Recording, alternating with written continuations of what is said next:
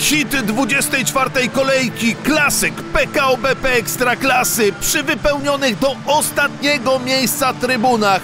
Widzew Łódź podejmuje Legię Warszawa. Legię, która może awansować na trzecie miejsce w tabeli, jeżeli oczywiście z Łodzi wywiezie trzy punkty.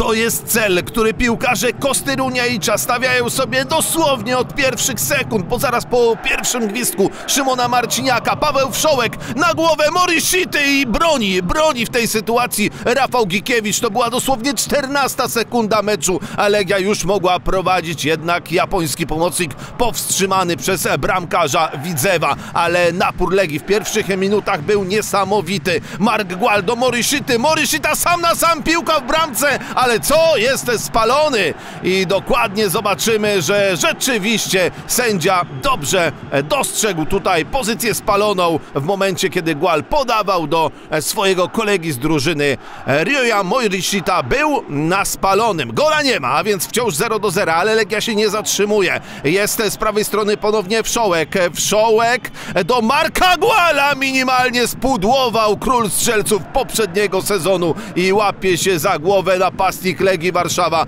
bo to była kolejna doskonała okazja. Tam jeszcze widzieliśmy rykoszet, który być może uratował Gikiewicza i uratował piłkarzy Widzewa. Moryszita po raz kolejny, wrzutka w pole karne, tym razem Wszołek strzelał głową, ale piłka skozłowała zbyt lekko uderzona, aby Giki miał jakiekolwiek problemy z interwencją. No i rusza też Widzew Łódź, minimalnie niecelny strzał Antoniego Klimka, który tutaj daje sygnał do ataku jeszcze po rękawicy Dominika Chładuna. Gospodarze jednak nie zamierzają się tylko bronić. Po pierwszym kwadransie przygniatającej przewagi Legii rusza Bartłomiej Pawłowski, Siman Rondic, ale piłka e, bardzo daleko obok bramki. Dobrze pilnowany tam napastnik Widzewa Łódź. No i wracamy na połowę Widzewa. Kolejna akcja Legii, Josue do Morishity. Morishita z lewej strony boiska wycofał do Guala Marge Gual. Jak on tego nie trafił? Łapie się za głowę hiszpański napastnik. Znów legioniści byli blisko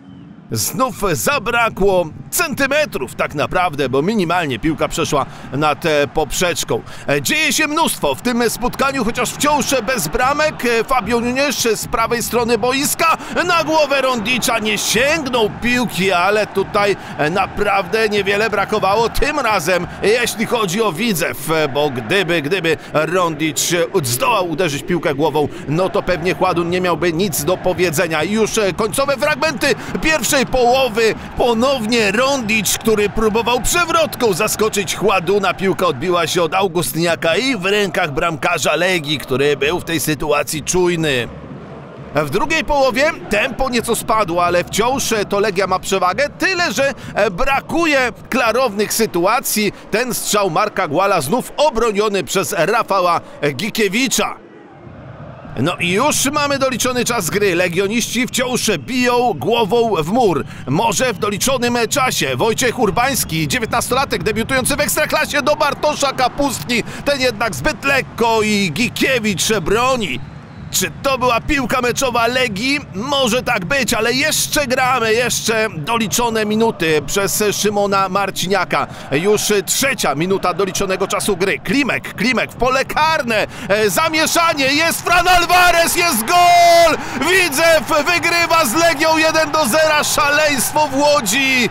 Fran Alvarez w 93 minucie doprowadza do sensacji, ależ radość Rafała Gikiewicza, ależ radość e, tych prawie 20 tysięcy kibiców, którzy tutaj przyszli zobaczyć, jak widzę, po raz pierwszy od, uwaga, 24 lat wygrywa z Legią Warszawa. Tak, tak, ostatni raz widzę w Ekstraklasie pokonał Legię w 2000 roku i teraz sensacyjnie, niespodziewanie po golu w 93 minucie po trafieniu Frana Alvareza.